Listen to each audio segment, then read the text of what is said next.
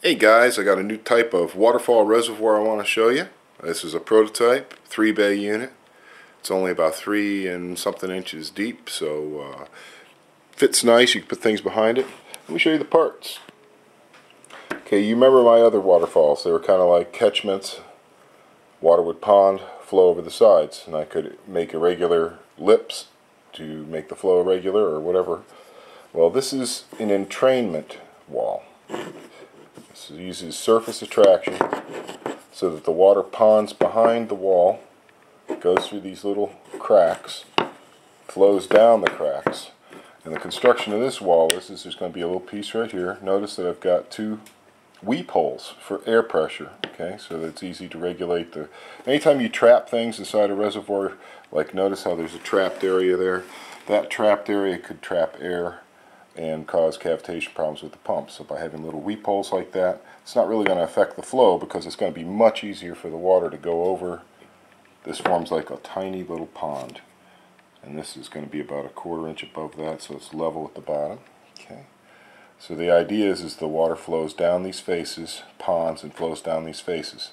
The whole thing will be lit from below. Okay, this is the part that goes in between the two ports. This is the back piece, okay? You can see my back piece. Give you an idea of size of the back piece so you understand why it's the back piece. The back piece is the size of the back of a standard DVD drive. The face is the width and there is a considerable difference, about 16th or more. Okay.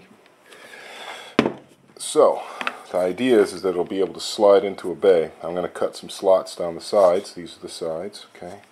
So these parts will all go together in a certain series. Too much fun, really. This is going to be on edge between these two. Let me just leave that one side off. It'll make it easier. This is the top. Notice it's got a recess for the fill cap. Integral into the top. Okay, and then the way this is going to work, I can't make this balance, okay, but you can get the idea. This is going to go like this. So what we get is behind it is a big pond of water. So instead of this thing jetting straight over a waterfall, which is how most of my waterfalls have had a port up top, water comes in, I had a diverter to keep it from hitting the face, so it'd kind of make a whoop. Well, this is different. This is going to pond from here, rise, it's going to flow down the edge of the entrainment wall using surface attraction to keep it from splashing. It's just going to go down. It's not going to suck in air and then this will go on top of the other one so you get a double level effect.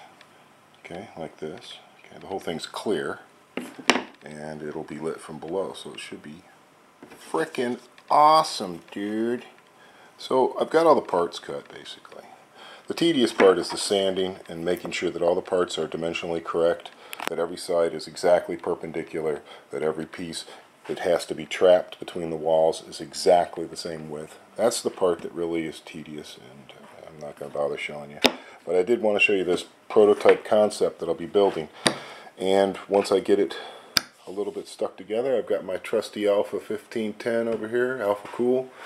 This thing leaked from the get-go, but it is so freaking powerful, it's ridiculous.